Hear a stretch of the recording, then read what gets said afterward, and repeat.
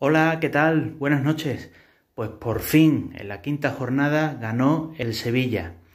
Ganó al español por dos goles a tres en un partido realmente agónico, pero por fin suma sus primeros tres puntos en el casillero. Eh, gran partido de, José Ángel Carmona y quizá pues pueda ser ese lateral que, que tanto ansía la afición, ¿no? Y ha estado realmente cumbre, marcando dos goles.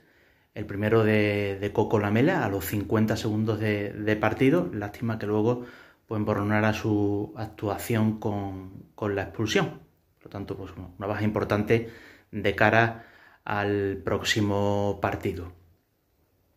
Por fin el Sevilla pues, mostró ese carácter, ese carácter que tanto se echaba en falta, no se arrugó a pesar de, encajar eh, ese penalti, que yo creo que no fue penalti, y luego posteriormente el segundo gol, un fallo ahí en la ajuste desajuste defensivo, eh, fallo de, Bono, que no, pudo atrapar el balón.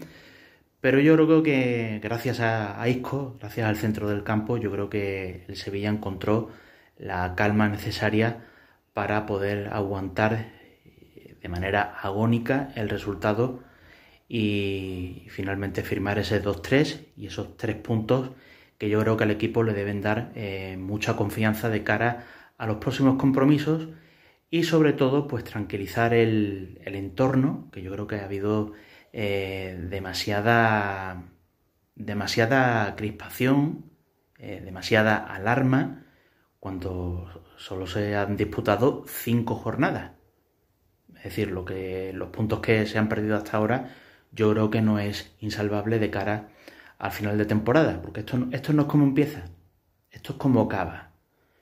Evidentemente, eh, el equipo está muy lejos de su mejor nivel, de ese equipo que, que transmitía seguridad defensiva y que obtenía muy buenos resultados, aunque el juego no fuera precisamente brillante.